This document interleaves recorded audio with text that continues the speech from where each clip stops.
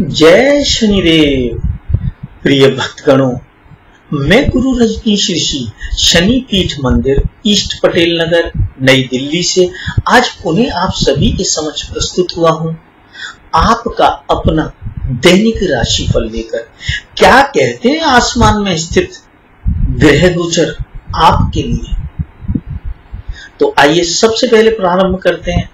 आज के ग्रह गोचरों के साथ। ग्रह गोचर फिर से बताना चाहूँगा जिन लोगों ने अभी तक मेरा प्रोग्राम नहीं देखा है। ग्रह गोचर मतलब आसमान में जो सूर्य, चंद्र, मंगल बुद्ध बृहस्पति, शुक्र, शनि, राहु और केतु, ये नौ जो ग्रह हैं, वो किस किस राशि में भ्रमण कर रहे हैं? यानी आपकी राशि में कौन सा ग्रह भ्रमण कर रहा है तो मेरी राशि में कौन सा ग्रह भ्रमण कर रहा है? उस स्थिति को हम ग्रह गोचर कहते हैं। तो यहाँ पर मैं एक बात और आपको बताना चाहूँगा कि आसमान में उपस्थित जो स्थित ग्रह गोचर है वो और आपकी जन्म कुंडली के जो ग्रह हैं, उन्हीं के अनुसार आपको फल मिलता है कि दोनों के कॉम्बिनेशन से फल मिलता है। अगर आपकी जन्म कुंडली में ग्रह खराब हैं और आसमान में बहुत ज़्यादा अच्छे हैं तो आपको दो एम दर्जे का मतलब हल्का सा फल प्राप्त होगा। अच्छा ग्रह होने के बावजूद भी आपको भारी फल नहीं मिलेगा। अगर आपकी जन्म कुंडली में नॉर्मल ग्रह है और आसमान में अच्छे ग्रह तो आपको ज़्यादा फल मिलेगा। और आपकी कुंडली में भी वो ग्रह बहुत अच्छा है और आसमान में भी वो ग्रह अच्छा है, बहुत अच्छा है तो आपको बहुत अच्छा फल मिलेगा। तो इस तरीके से कुंडली, अपनी जन्म कुंडली के अनुसार ही हमारे ग्रह गोचर कार्य करते हैं। तो आइए सबसे पहले प्रारंभ करते हैं ग्रह गोचर की स्थिति को। यहाँ भगवान भास्कर सूर्यदेव अपनी उच्च राशि यानी मेष राशि के अंदर विराजमान है और वहीं पर उनके भी मित्र और मंगल देवता के भी मित्र, बुद्ध देवता, सूर्य देवता के साथ ही मेष राशि में विराजमान है। शुक्र देवता अपने स्वयं के घर में वृक्ष राशि में विराजमान है। राहु महाराज मिथुन राशि में विराजमान है। चंद्र देवता सिंह राशि में विराजमान है। समय केतु महाराज धनु राशि में विराजमान है। शनि देवता अपने स्वयं के घर में विराजमान है। अपने घर का जो ग्रह होता है, वो बली होता है। बलवान माना जाता है यहाँ पर ही मंगल देवता उच्च के होकर, यानी अपने मित्र के घर, यानी शनिदेव जी के घर में उच्च के होकर बैठे हुए हैं। यानी वो भी मकर राशि में ही विराजमान है। और यहीं पर बृहस्पति देवता नीच के होकर शनिदेव जी के घर में, यानी मकर राशि में ही विराजमान है। तो यह है आज के ग्रह गोचर की स्थिति। यहाँ मैं आप लोगों को बताना चाहूँगा कि आप लोगों के बार बार निवेदन करने के बाद, क्योंकि आपकी बहुत सारी मेल्स आती थी कि हमें फ्री में बताइए, फ्री में बताइए, हम पैसा देने में असमर्थ हैं। तो हमने एक मोबाइल ऐप लॉन्च की, जिसकी जो लिंक है, गूगल प्ले स्टोर के लिए जो उसका लिंक है, वो इस वीडियो की डिस्क्रिप्शन में आ रहा है। आप वहाँ जाकर स्वामी प्रिंस ऋषि से अपनी परेशानियाँ बता सकते हैं और उनका डायरेक्ट सॉल्यूशन मतलब आपसे कोई डिस्कशन नहीं होगा, आपको डायरेक्ट सॉल्यूशन आपको भेज दिया जाएगा, ऐसी व्यवस्था हमने आप लोगों के लिए बनाई हुई है।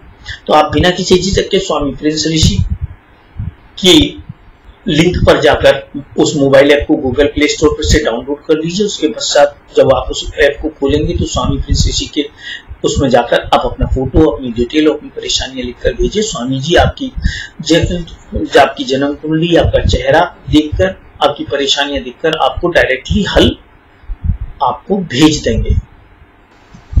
चलिए प्रारंभ करते हैं आज के पंचांग से। आज विक्रम संवत दो हज़ार सतहत्तर, पाँच मई 2020 त्रयोदशी तिथि है।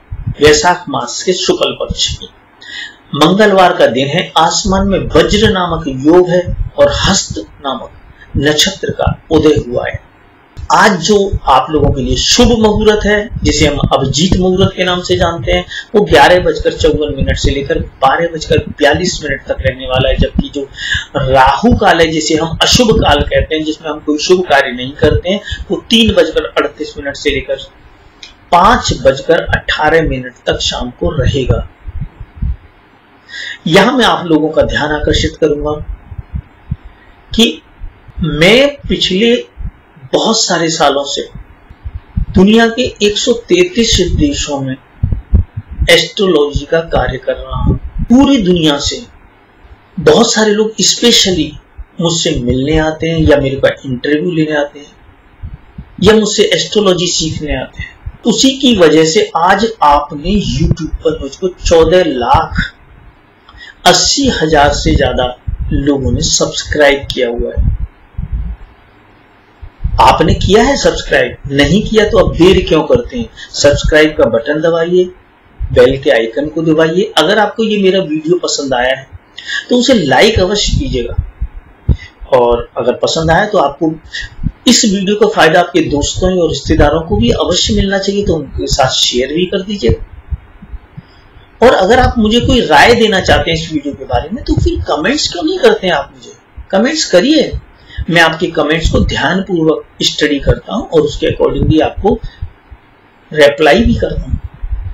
तो चलिए, प्रारंभ करते हैं आज के राशिफल के साथ। बात करते हैं वृक्ष राशि वालों व्यक्तियों के बारे में। वृक्ष राशि वाले व्यक्ति आपका मानसिक बल बहुत बड़ा चढ़ा है। इतनी परेशानियों को भी आप सहने के बाद भी अपने मानसिक बल को आप स्थिर रख पाएँगे, ये आपके लिए खुशखबरी हो सकती है, निश्चित रूप से। कि विपरीत परिस्थितियों को संभालना भी एक बहुत बड़ी आर्ट है।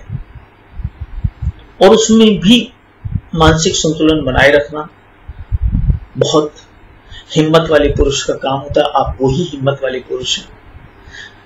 परिवारजनों के साथ थोड़ी उलझने, थोड़ी परेशानियाँ, जिसकी वजह से आपको नुकसान भी हो सकता है, सावधानी बरतें।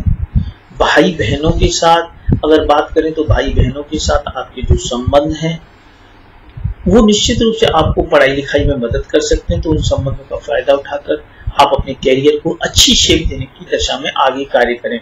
माता के साथ आपके संबंधों में अड़चन आ रही है और उनकी वजह उस और या माता की वजह से आपको काफ़ी खर्चा करना पड़ सकता है। सतर्क रहें, माता का आशीर्वाद लें, माता से चरण स्पर्श करें, निश्चित ही आपको फ़ायदा होगा। बात करते हैं स्टूडेंट की, जैसा कि स्टूडेंट है, उनका मन इस समय चंचल बना हुआ है। तो अपने मन को स्थिर बनाने के लिए और पढ़ाई लिखाई में फोकस करने के लिए, वो जो कि आप नहीं कर रहे हैं, मैं बात कर रहा हूँ राशि वालों तो ऐसे स्टूडेंट और उनके माता पिताओं को हम गारंटी देते हैं कि अगली साल से आपके बच्चे के न सिर्फ़ अच्छे नंबर आएँगे, बल्कि अभी से ही उसका मन पढ़ने लिखने में धीमे धीमे करके लगने लगेगा।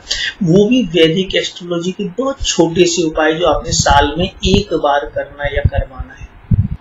इसके लिए हम आपको गारंटी भी देते हैं। अगर आपको चाहिए तो हम आपको लिख के गारंटी दे सकते हैं कि ऐसा ही हो और हम बात करते हैं उन युवक युवतियों की। जो बार बार सरकारी नौकरी के एग्ज़ाम्स में बैठते हैं, मगर सफल नहीं हो पाते। तो ऐसे सभी युवक युवतियों और उनके माँ बाप से कहना चाहेंगे, आप एक बार अपनी जन्म कुंडली तो दिखवाइए।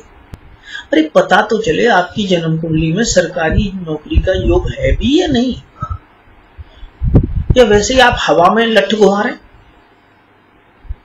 और अगर योग नहीं है तो भी घबराने की बात नहीं हम आपको दूसरी डायरेक्शन में जहाँ पर आपका योग बनता है, उस डायरेक्शन में आपको मोटिवेट करेंगे, मज़बूत करते हुए। और जिन लोगों की जन्म कुंडली में योग है, मगर कमज़ोर है तो उनके उस सरकारी नौकरी वाली योग को बेहद मजबूती प्रदान करने के लिए छोटे छोटे वैदिक एस्ट्रोलॉजी के उपाय करेंगे। और जिन लोगों की जन्म कुंडली में स्ट्रॉन्ग योग बना हुआ है तो भैया हमारे पास काय को आओगे? सरकारी नौकरी की लाइन में लगो जाके। हमारे पास आने की आपको ज़रूरत नहीं है सरकारी नौकरी के लिए। मगर हम बात करें उन लोगों की, उन माता पिताओं की जिनकी संतान उनकी बेज्जती करती है, उनका अपमान करती है। ऐसे सभी माता पिताओं से कहना चाहेंगे, चाहे आपकी संतान की उम्र पंद्रह साल है या पचपन साल, इस बात से कोई फ़र्क नहीं पड़ता। आप हमारे बताए हुए वैदिक एस्ट्रोलॉजी के छोटे से उपायों को साल में एक या दो बार करें। निश्चित रूप से धीमे धीमे करके आपके और आपकी संतान के मध्य उन्हें प्रेम के मज़बूत बंधन बनने प्रारंभ हो जाएँगे और आप रोज़ाना की इस अपमान और बेइज्जती से मुक्ति पा सकेंगे।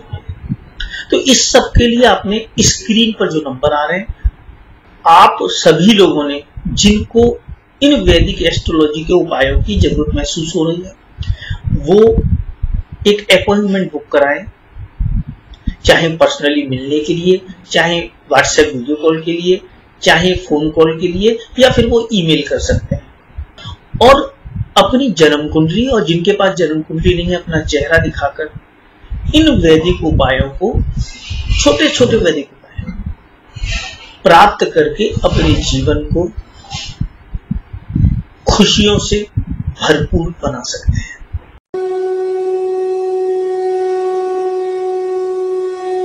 You know me as Wayne, uh, or you know me as Dr. Wayne. Before I came here, I was already successful. I want to lie. That's why I said negativity became positivity, but positivity became more positive.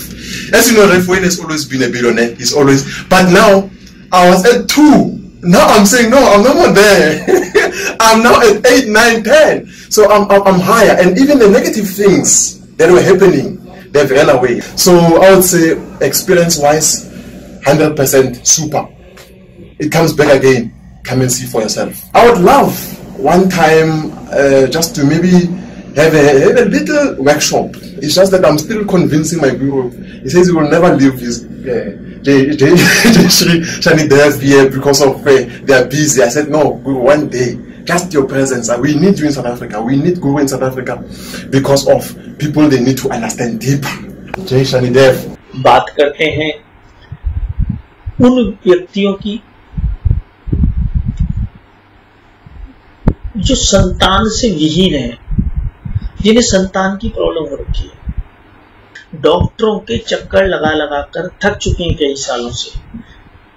या बार बार miscarriage होता है, मगर किसी भी बात के लिए डॉक्टरों के पास कोई हल नहीं निकल पा रहा है। तो आप लोगों को समझ लेना चाहिए। अब आप लोगों को दवा से ज़्यादा दुआओं की ज़रूरत है, और इन दुआओं को प्राप्त करने के लिए आप जो स्क्रीन पर हमारे नंबर आ रहे हैं, उन पर एक अपॉइंटमेंट बुक करिए वीडियो कॉल के लिए पर्सनली मिलने के लिए फ़ोन कॉल के लिए, या आप ईमेल के द्वारा भी हमसे संपर्क कर सकते हैं। और अपनी जन्म कुंडली, अपना चेहरा या अपनी परेशानी बताकर इन समस्याओं के मतलब जो संतान से संबंधित समस्याओं के लिए ऐसा परामर्श प्राप्त कर सकते हैं जिससे शीघ्र शीघ्र आपके घर में संतान की प्राप्ति होना संभव हो सके, रास्ते खुल सके वो अड़चने दूर हो सके, जो उसमें बाधा बन रही है। बात करते हैं, जीवन साथी के साथ आपके संबंधों की तो जीवन साथी के साथ आपके संबंध आपको बहुत ज़्यादा रोमांटिक बना रहे हैं, और आप उसको एंजॉय कर पा रहे हैं। भाग्य आपका साथ दे रहा है फुल टू फुल भाग्य के साथ आगे बढ़ने का भरपूर प्रयास करिए। किंतु कोई एक्सीडेंट से संबंधित समाचार या एक्सीडेंट के होने की संभावना आसपास नज़र आ रही है तो आपका सावधान रहना अत्यंत आवश्यक है। बात करते हैं कार्यस्थल के हालात तो निश्चित ही भाग्य आपके कार्यस्थल के हालात में भी आपको सपोर्ट प्रदान कर रहा है। किंतु आमदनी के हालात थोड़े उन्नीस बीस होते हुए, खर्चे ज़्यादा होते हुए नज़र आ रहे हैं तो आपको सावधान और सतर्क रहने की ज़रूरत है। और अंत में हम बात कर रहे हैं उन युवक युवतियों की जो वृक्ष राशि के और अपने प्रेम संबंध में बहुत ज़्यादा अड़चन महसूस कर रहे हैं, चाहे आपसी झगड़ों की वजह से, चाहे उनके बीच में कोई तीसरा घुस गया है इस वजह से, चाहे उनका जो साथी है, उनको अब छोड़ना चाहता है इस वजह से, या उनके जो प्रेम संबंध है, वो शादी में कन्वर्ट नहीं हो पा रहे इस वजह से तो ऐसी किसी भी परेशानी से जूझ रहे किसी भी राशि के युवक, युवतियाँ, जो अपने प्रेम संबंधों को लेकर परेशान है स्क्रीन पर जो नंबर आ रहे हैं इस समय, उन पर एक वीडियो कॉल फ़ोन कॉल या पर्सनली मिलने का टाइम बुक कराएँ। या आप ईमेल भी कर सकते हैं। और अपनी जन्म कुंडली, अपना चेहरा और अपनी परेशानियों को बताते हुए वैदिक एस्ट्रोलॉजी के छोटे छोटे उपाय, जिसमें आपको कोई बकरों की बलि नहीं देनी है, कोई मुर्गों की बलि नहीं देनी है, कोई उल्लू पकड़ के नहीं लाना है, कोई सियार सिंगी की बलि नहीं देनी है, कोई पूजा पाठ के महान प्रपंच में नहीं फंसना है। आपने बहुत साधारण सी वैदिक उपायों के माध्यम से अपने प्रेम संबंधों को पुनः मज़बूत बनाना है और उनको शादी की तरफ़ ले जाकर अपने जीवन में खुशियों को नया आयाम प्रदान करना है। और अंत में आपकी ओवरऑल जन्म कुंडली को देखते हुए मैं वृक्ष राशि वालों आपको पाँच में से तीन स्टार देता हूँ आज के लिए। आज के लिए बस इतना ही। शीघ्र ही पुनः मुलाकात होगी। आपके नए ग्रह गोचर के साथ। तब तक के लिए आज्ञा दीजिए। जय शनिदेव।